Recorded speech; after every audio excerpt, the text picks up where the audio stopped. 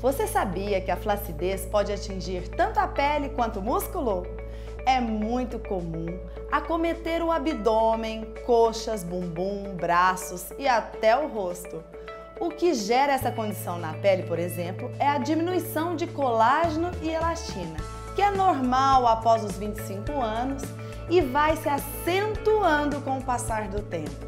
Mas alguns fatores agravantes, como má alimentação, sedentarismo, alterações de peso, sem contar a genética e a predisposição de cada pessoa, faz com que a flacidez muscular seja aprofundada e mais difícil de ser tratada, pois aparece em decorrência do desgaste das fibras de sustentação dos músculos.